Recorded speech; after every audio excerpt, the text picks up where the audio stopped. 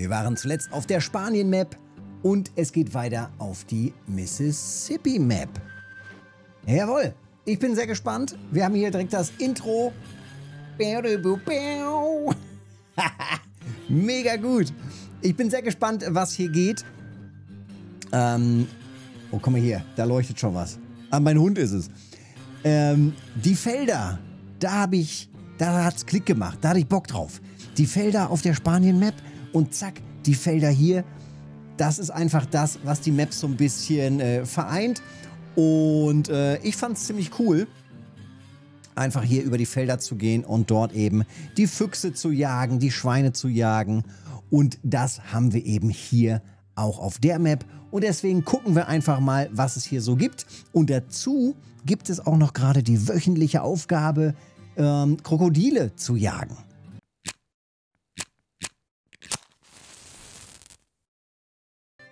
Also, rein hier in die Mississippi Map. Und wir brauchen natürlich erstmal wieder eine Base. Und was man noch so alles braucht. Ähm, ich habe, glaube ich, alles. Also ich habe, glaube ich, alles an, an Waffen dabei. Alles, was man benötigt. Wir gucken erstmal drauf auf die Map. Und wir haben da, da wo es so hell leuchtet, da haben wir dann eine Base. Das heißt, das markieren wir schon mal direkt. Und es ist in die Richtung. Das ist okay, gut. Es ist okay. Ähm, wir haben den Wind aus der Richtung kommt, in die Richtung pusten. Das sehen wir ja unten an dem Zeichen. Das heißt, wir laufen jetzt in die Richtung, sollten uns allerdings auch ein bisschen darauf gefasst machen, dass wir vielleicht ein bisschen eher schon erkannt werden, wenn wir hier, ja, ich sag mal so ein bisschen in diese Richtung laufen. Weil der Mief, unser Mief geht halt schon grob in die Richtung. Was haben wir denn hier als erstes? Waschbären maybe? Ja. Waschbären allen voll gut. Waschbären hier auf der Map, Schweine auf der Map, Alligatoren auf der Map, die Krokodile. Ähm, ja, das ist, das ist, schon, das ist schon gut. Hirsche gibt es auch hier. Und wie gesagt, die Razorback-Schweine. Auch richtig nice. Ich laufe erstmal grob in die Richtung. Und äh, ja, wir machen natürlich erstmal hier Deo drauf. Die gerade noch genannten Razorbacks. Stufe 4. Direkt ab in die Knie, langsam vorwärts. Wahrscheinlich sind die schon aufgescheucht, laufen schon wahrscheinlich erstmal weg. Ähm, ich habe, glaube ich, noch alles dabei. Die Kulmen, die gibt es ja äh, seit dieser Map, gibt es eben auch die Waffe. Richtig praktisch, Klasse 1 bis 2, super praktisch. Ähm, das ist natürlich auch sehr gut dann für die Waschbären. Dann übe ich immer noch hier schön fleißig mit der Pistole und dem Kaliber 243. Ähm, ja, um damit eben Pistolenpunkte zu machen, damit ich dann später mit der Moradi richtig gute oder die bessere Munition verwenden kann. Deswegen muss ich eben hier mit ein bisschen üben. Heißt also, entweder jetzt gleich Schweine jagen mit der, mit der Kumo oder, oder. Mal gucken, was so geht. Und ja, der Rest ist halt Notfall, ne? Das brauchen wir wahrscheinlich erstmal nicht. Aber. Oh mein Gott, direkt hinter mir. Ich werde ja weich. Klasse 4.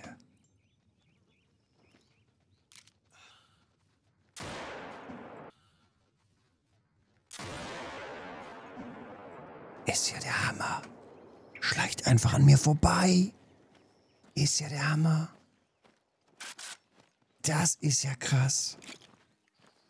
Das ist ja witzig. Schön outplayed, Alden. Hammer. Oh, der war aber auch gut getroffen, ey. Ich meine, der Ballermann, das ist halt das Schöne. Die Moradi, die haut aber auch was raus, ne? Rabams. Schwarz. Männlich. Silberwertung ab in die Lunge und das natürlich dann hier mit der Riesenaufpilzung. Es hätte aber auch anstatt Aufpilzung, also mit mehr Durchschlagskraft, hätte es auch das Herz getroffen. Exakt in einer Linie hier. Ja, exakt in einer Linie mit dem Herz. Also, wer auf jeden Fall umgekippt, egal wie. Zack, rein da. Äh, so war der Schuss. Ja, das passt doch. Das passt doch. Schönes Ding. Schwarze Färbung ist, soweit ich weiß, normal für die. Ne? Ich gucke gerade noch mal eben nach. Also die normalen Wildschweine gibt es hier. Es gibt gar nicht die Razorbacks hier. Kann das sein? Sieht so aus, tatsächlich. Also die normalen Wildschweine hier auf der Mississippi Map. Pink als besondere Farbe. Und albinistisch, aber schwarz. Einfach gewöhnlich. Schwarz-Gold, schwarz, äh, mit schwarzen Flecken, schwarz-dunkelbraun braun-hybrid, also ganz normale Färbung. Ja, nehmen wir aber so mit. Alles Tuddi, richtig schön getroffen. Tipptopp. Und es geht weiter jetzt in die Richtung. Waschbär, Brunftschrei. Der erste. Da vorne in 300 Meter Entfernung ist schon die Base. Und hier die Wachtel und ein Waschbär. Hm, jetzt haben wir es natürlich hier gerade ein bisschen tricky. Ich könnte den locker hinstellen. Und dann mich nach dahin verziehen ins Gebüsch. Es ist aber ein bisschen tricky tatsächlich, ne? wegen dem Wind einfach gerade. Sehr unpraktisch gerade der Wind, der steht gerade tatsächlich nicht gut. Tja, oder ich stelle ihn so hin und lege mich hier flach in eine Rinne. Aber dann sieht man halt nicht viel, ne? Aber ich denke, das wäre halt am ehesten was. Wir probieren das mal. Ich gehe mal ein bisschen näher ran. Den Hund lassen wir mal hier sitzen. Und ich versuche mal ein bisschen zu locken aus dieser Richtung jetzt hier. Und dann so hier in, in Richtung vom Waldrand. Es wird langsam dunkel. Ich habe nicht mehr so ganz viel Zeit. Ähm, ganz im Dunkeln wollte ich jetzt hier nicht rumrennen. Aber vielleicht kriegen wir ja doch noch einen Waschbären hier. Den ersten Waschbären schon angelockt. Ich glaube, das wäre doch gar nicht so schlecht hier. Wir platzieren das mal so.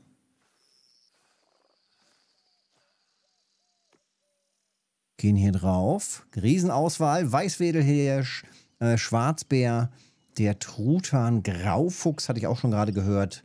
Die Wildschweine, die Krickenten auch, okay. Waschbär und Mississippi Alligator kann ich auch anlocken. What? Oh. Oh. Oh. Oh. Oh. Oh.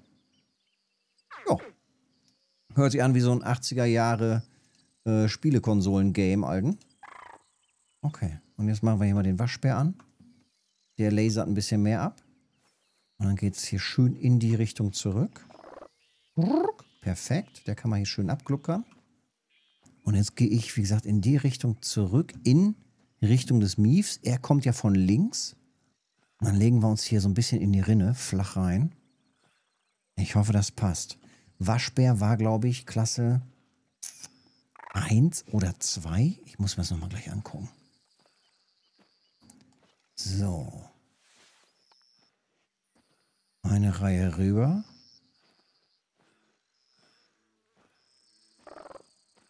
Entfernung bis hierhin, bis zum Baum, 20 Meter nur. Bis zum Gerät, 25, okay.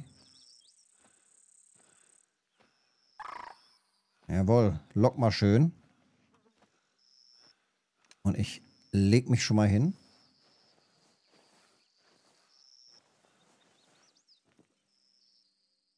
So. ich bin gespannt. Da ist der locker. Auf 30 Meter entfernt. Vielleicht kommt da hier was vorbei. Und ich glaube, auf die Range hier brauche ich kein Scope. Oh mein Gott. Close. Direkt vor mir. Warnruf. Der kam einfach von hinten. Das ist ja der Hammer.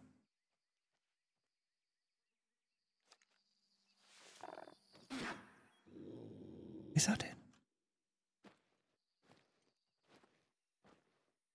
einfach nicht zu sehen. In dem Gestrüpp hier.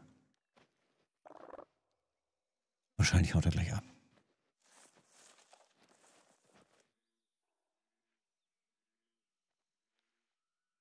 Na?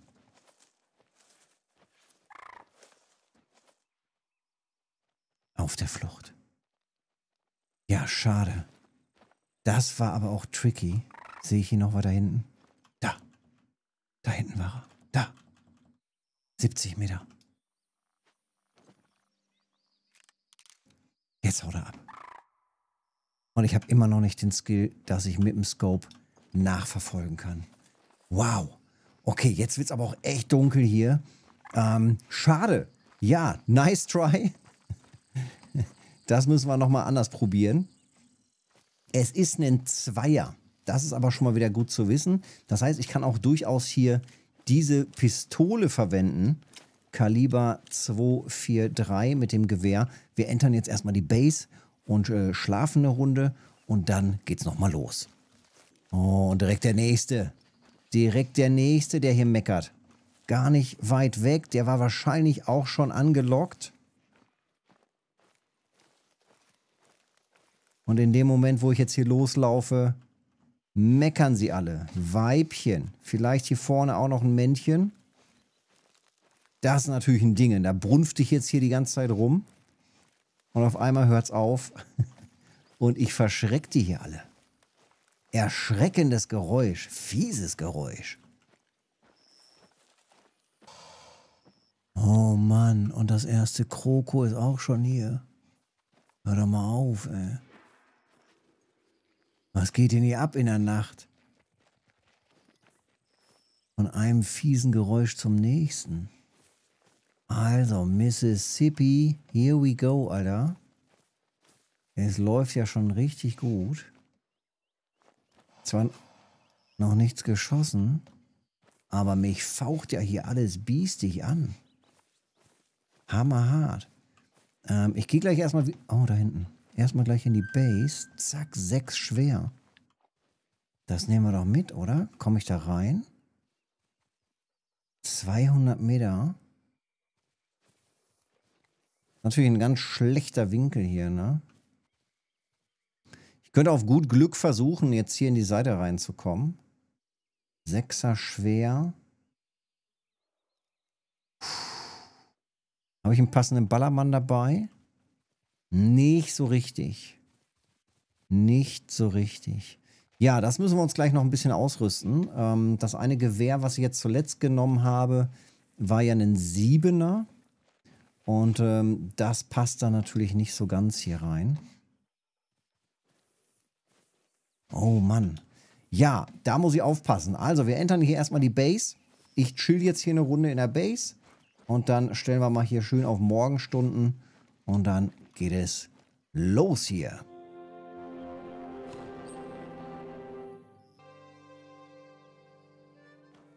Wow, wow, wow, wow. Ja, da sind wir doch. Gucke mal. Also, gut gepennt, ausgeschlafen. Es ist ungefähr 5 Uhr morgens. Und ich habe die ersten Schritte hier in Richtung Mississippi gemacht. Und suche natürlich die Krokos, denn wir haben ja die wöchentliche Aufgabe, Krokus zu schießen. Und das machen wir. Guck mal hier. Auf 250 Meter. Hm, ich gehe noch mal ein bisschen ran, so auf 200, 150 maybe.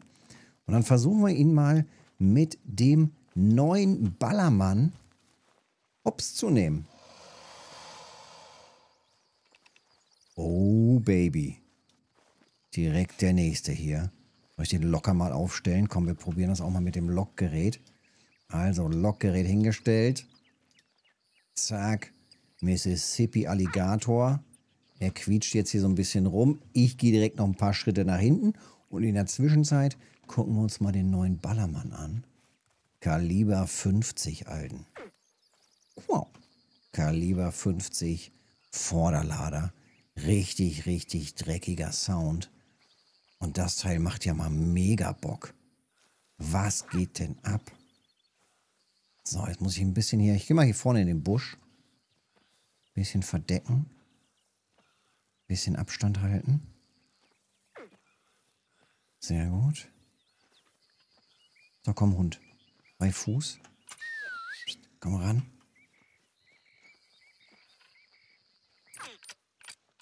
Klatzen, so.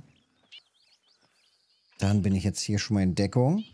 Passt da von der Deckung? Werde ich hier getarnt? Boah.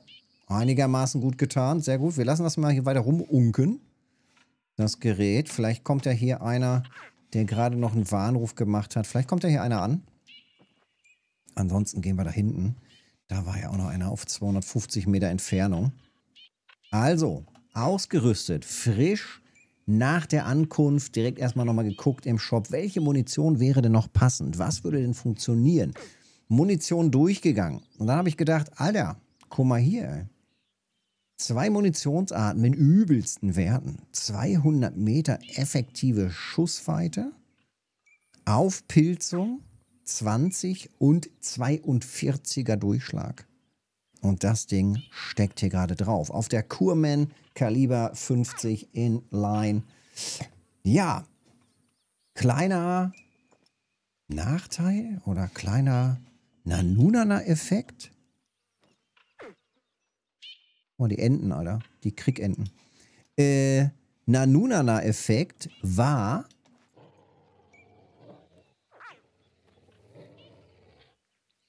Mein Gott. Irgendwo kommt ein Alligator. Sonst wird der Hund nicht brüllen.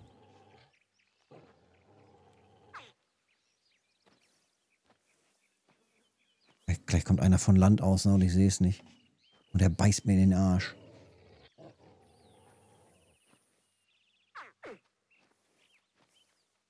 Ruhig bleiben. Schritte, Schritte, close. Da vorne. Ja, da vorne. Kommt hier vorsichtig an. Sechser schwer. Gewehr rausholen, hinstellen.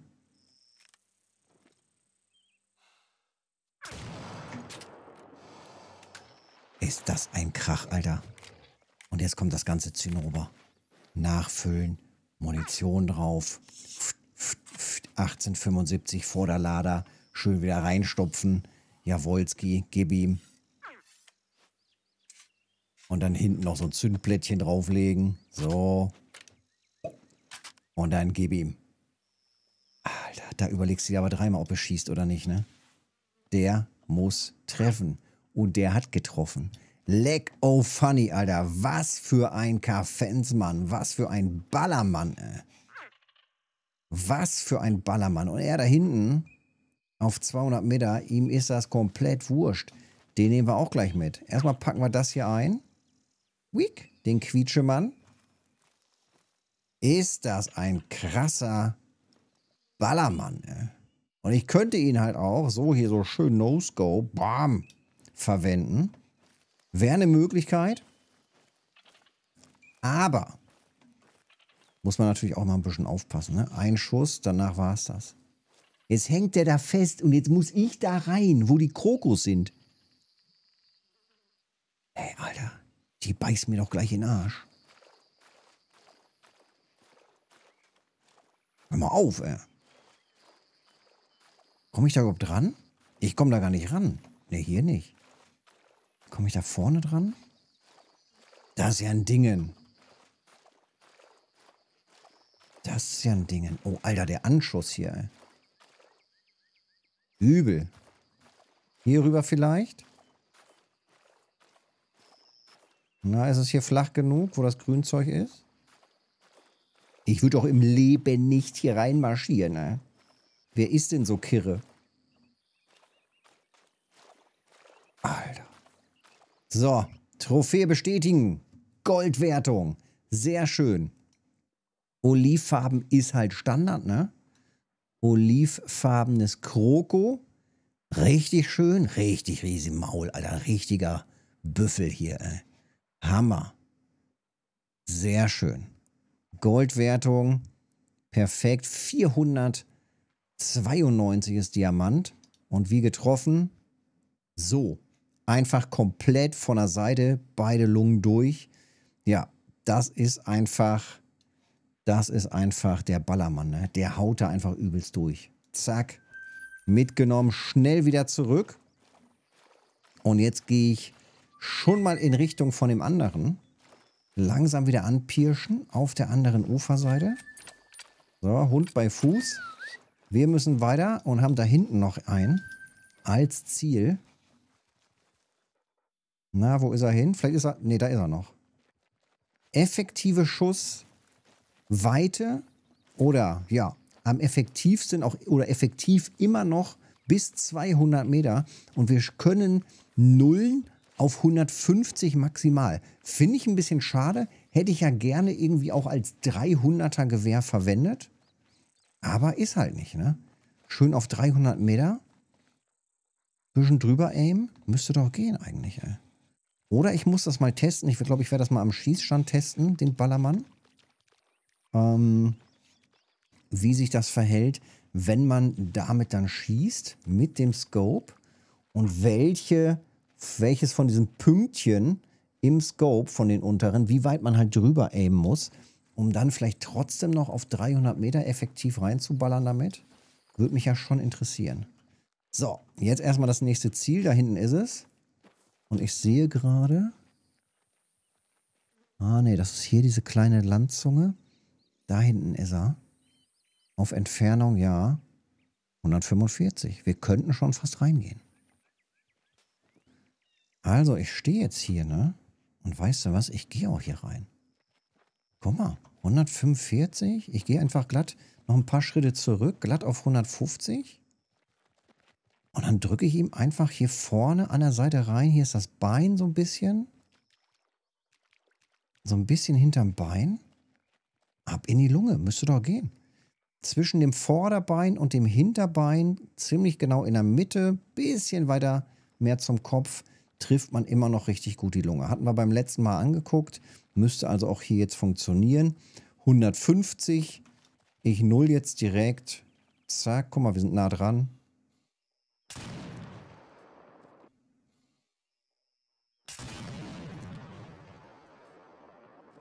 Ist das ein dreckiger Sound, Alter. Bam. Hammerhart. Hammer, hammerhart, Alter. Aber das Teil in voller Action, wenn ich drei Wölfe angehen, besser nicht. So, schön nachgestopft. Zündblättchen drauf. Oh. Jawohl. Und ready. Nächster Schuss. Oh. Oha. Nicht getroffen oder was? Noch nicht umgefallen. Ich laufe schon mal hin. Noch nicht umgefallen. Zack, direkt den nächsten entdeckt hier. Direkt den nächsten. Bei solchen Entfernungen ist natürlich auch immer die Chance, dass man irgendwo noch in den Ast, in den Baum oder was auch immer was reinballert, ne? Irgendwas, was vielleicht gerade nicht gerendert wurde, nicht, nicht zu sehen war. Das wäre natürlich schade. Aber, ja, ich habe ihn nicht getroffen. Vielleicht war es auch zu tief. Möglicherweise zu tief. Das heißt, ich laufe einfach weiter und wir gehen mal zum nächsten. Und auch hier kommen wir wieder an auf 150 Meter. Und wenn ich mir das jetzt so anschaue, sehe ich es, glaube ich, gerade. Wir haben hier unten nämlich noch eine Erdkante. Und ich glaube, hier mit dem Scope komme ich näher ran. Wir haben hier unten noch so eine kleine Erdkante. Und dahinter, ich sehe vermutlich nur den Rücken dahinter. Wo ist er jetzt hin? Wo ist er hin? Hatte ich doch gerade gesehen. Da ist er. Guck mal, wahrscheinlich sehe ich nur oben so ein ganz, wo jetzt die Links-Rechts-Linie ist, so ein ganz kleines Stückchen. Und das kleine Stückchen, wenn ich jetzt natürlich hier unten auf der Linie auf die Lunge schieße, schieße ich natürlich genau in die Erde rein. Wahrscheinlich liegt er flach mit dem Bauch so in so einer kleinen Mulde, dass ich den gar nicht kriegen kann. Ja, das ist immer natürlich immer so ein bisschen der Nachteil bei diesen Markierungen, ne? bei den Umrandungen. Aber was wir jetzt machen können, ab jetzt jogge ich wieder ganz entspannt. Ich robbe jetzt so ein bisschen näher ran. Stell gleich den Caller auf. Und zwar ein bisschen weiter vom Ufer entfernt. Vielleicht kommt der von da drüben rüber geschwommen. Kommt hier wieder raus. kommt dann hier zum Caller und denkt sich, na, nur allen Bam, von der Seite Schuss rein. Hm, klingt doch nach einem Plan, oder? Hier sind die Büsche, kann ich mich schön reinhocken. Da vorne kommt der Caller hin. Alter, perfekt, ey. So, du platzt da mal hinten, schön hinter mir. Hier gehe ich gleich rein. Und der Caller kommt da vorne hin. Und der war hier in Ufernähe, ungefähr 100 Meter entfernt. So, richten wir mal aus, so in die Richtung. Tüdelü, Alten. So. Passt schon. Jetzt wird gecallert. Oh, warte, ja, können wir auch nochmal machen. Bisschen Deo drauf. Und dann. Ja, der Mief ist schon, der dreht schon gut.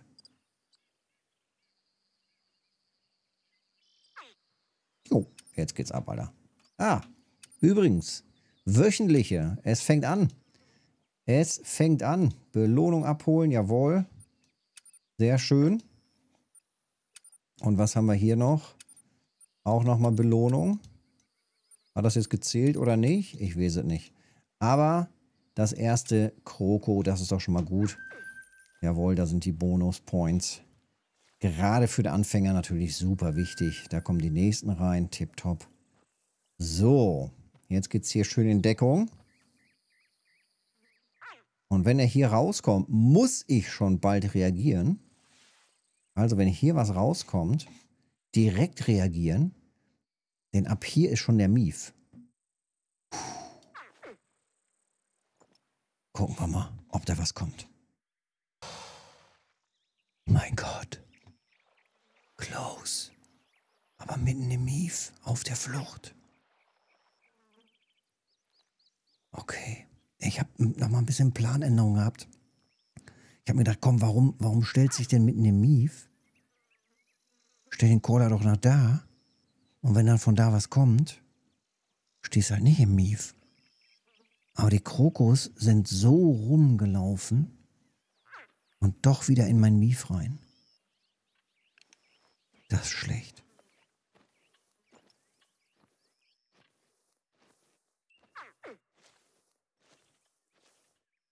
Da haut er ab.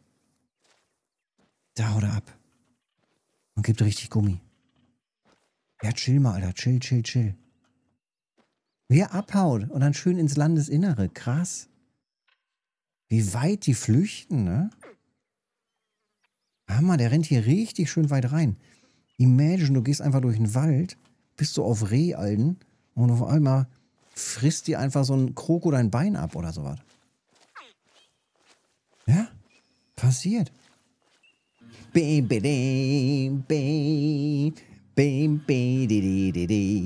So, ich bin erstmal wieder ein bisschen weiter marschiert. Und äh, wir gucken jetzt nochmal in einer etwas anderen Area. Da hinten war es sehr verzwickt. Oh, guck mal, den hatten wir doch vorhin schon. Da hinten war es ein bisschen verzwickt, weil, ja, der Wind und so Sachen. Der Wind, der Wind, der dreht geschwind. Und dann stehst du da auf einmal und denkst dir, ja geil.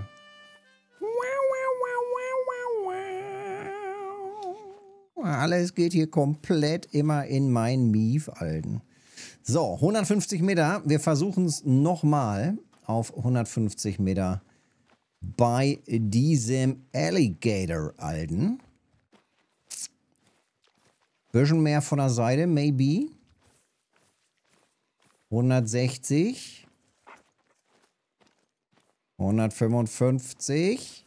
Stopp. So, Alter, wenn ich den jetzt nicht treffe, Alten. So, 150 genullt. Vorderlader ist ready. Hier sehe ich schon wieder nichts.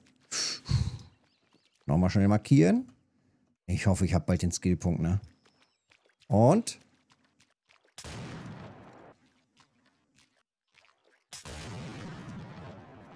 Bom! Und der Rauch dazu. Was ein Monster-Ballermann. Zack, zack. So, Spektakel beendet. Und wie sieht's aus? Nee, nee. Schon wieder nicht? Hör mal, das stimmt doch. Das gleich. Doch. Getroffen. Aber schlecht getroffen. Schlecht getroffen.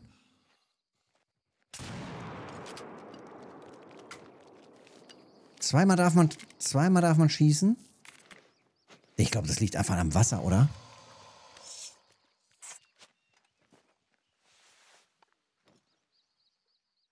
Guck mal, der ist hinten im Wald. Da. Fünfermittel, schnell nachladen. Das ist ja ein Dingen. Okay, der hat auf jeden Fall gerade Leben verloren. Das ist schon mal soweit gut. Liegt das möglicherweise an der Munition? Komme ich mit der schlecht ins Wasser? Ist das jetzt nicht die ultimative Crocodile Dundee Muni, Alten? Alter, der Prozess des Nachladens, Alten. Voll gut. Und er ist immer noch nicht umgekippt. Und das ist voll schlecht. Und auch schade, Alten. Guck mal hier. Da ist er. Guck mal. Guck mal, der kommt hier an. Er ist aggro, der kommt hier wirklich an. 50 Meter, 50 Prozent live. Guck mal. Jetzt haut er ab, oder was? So, da hinten ist der andere Kandidat, ne? Auf 130 Meter jetzt. Auch das werde ich jetzt nochmal versuchen. Er geht langsam an Land. Ganz klar. Und da jetzt. Das heißt, ich gehe jetzt auf 100 Meter und aim ein bisschen drüber. Und das sollte doch sitzen, Mann. Hör doch mal auf, ey. Das muss doch sitzen bei dem Ballermann hier. Guck dir mal das Spektakel an.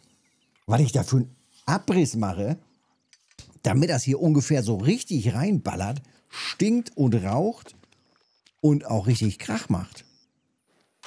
Dafür mache ich das ja. Für den Krach. Okay. Auch kein Fleck. Irgendwas stimmt hier nicht. Wenn dir aufgefallen ist, was hier nicht stimmt, gerne in die Kommentare reinschreiben. Habe ich einen falschen Ballermann oder was? Schieße ich einfach ins Wasser und die, und die Kraft der Muni trudelt einfach extrem ins Uneffektive? Und dann war es das? Mal, da stimmt doch was nicht. Müsste ich vielleicht doch einen anderen Ballermann nehmen? Der macht doch so viel schön Krach und Rauch und, und dann, dann das ganze Zinnober, Alter. Das ganze Spektakel, was du hier abfeiern musst. Nur damit es einmal schön kracht und stinkt. Wäre doch schade, wenn. Also, das würde ich sagen, testen wir nochmal schön entspannt im nächsten Livestream. Da gehen wir nochmal noch, ordentlich hier auf der Mississippi Map auf Alligator Alden. Da muss doch was gehen. Da muss doch was gehen. Ja, aber für den ersten Eindruck ganz nice. Ich bin, finde das schon ziemlich, einen ziemlich geilen Ballermann. Also ich würde damit auch äh, rumrennen hier. Alleine wegen dem Bam. Ne? Und äh, ja, vielleicht kriegen wir das ja hin, dass das eben hier auch richtig klappt auf der Mississippi Map. Also, so viel dazu. Wenn es dir trotzdem, dir trotzdem gefallen hat, Daumen da lassen, Kanal abonnieren nicht vergessen. Das hilft mir und gefällt mir auch sehr. Und dann sehen wir uns im nächsten Video oder halt im Livestream. Dienstags, Donnerstags und Sonntags immer ab 19 Uhr geht der Livestream los und dann im Anschluss nach Russian Fishing 4 wird dann immer gejagt. Und montags, mittwochs und freitags wird hier komplett geangelt. Äh, ja, immer ab 19 Uhr live auf YouTube und auf Twitch. Bis dahin, Petri oder Weidmanns Heil.